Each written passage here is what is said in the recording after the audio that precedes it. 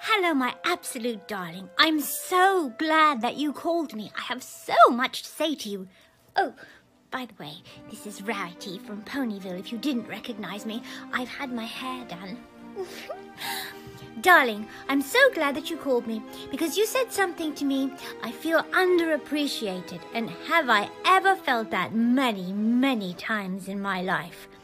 First of all, myself and all the unicorns I know want to send you great, huge waves of appreciation because you are a darling. Hmm. Idea! Avid, which means passionate, which is forward moving and full of will. And that's you in the middle of this pillar of quietness and unseenness, or so you feel. But we know better. We know in your beating heart there's a passionate and wonderful, wonderful pony. Checkers, I wanted to speak to because the name Checkers says to me, uh, black and white, black and white are checkered. And uh, any checkerboard will tell you that it's both things. It's this and it's that. There is no black or white, there's both. And so the message that I wanted to tell you is do not judge yourself. And when you feel underappreciated, remember that it's very often because you're not giving appreciation to bits of yourself. You're wanting other people to give those bits of appreciation to you. And rightly so. You definitely deserve it. And you deserve to feel whatever it is that you feel.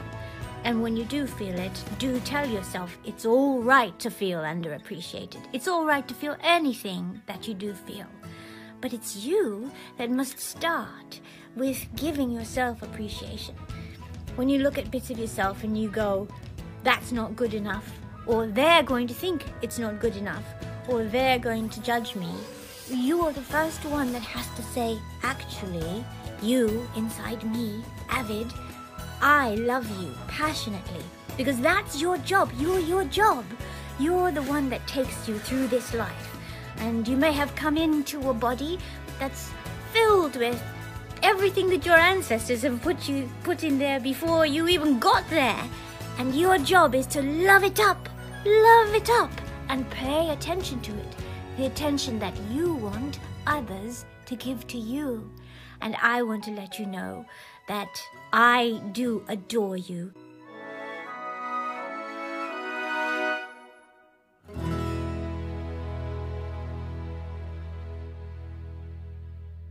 And this is Rarity from Ponyville, me and all of the unicorns in very deep support and love of you. And we appreciate, appreciate, appreciate you.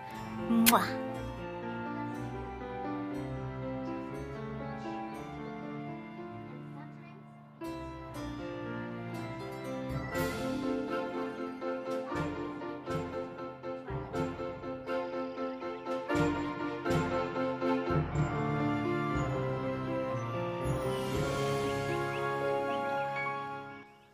Hello, David. Hello, my absolute darling. I'm so glad that you called me. I have so much to say to you.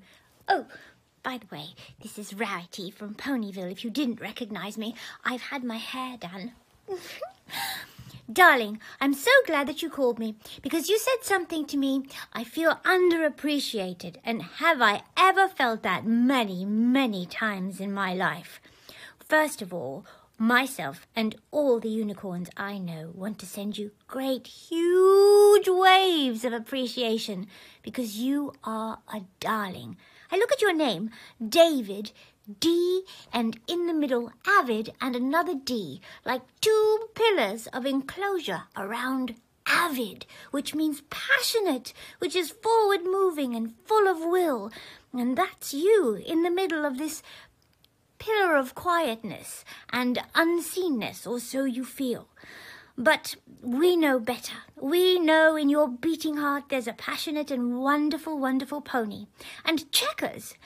And checkers, too, I wanted to speak to because the name checkers says to me, uh, black and white, black and white are checkered. And uh, any checkerboard will tell you that it's both things. It's this and it's that. There is no black or white, there's both.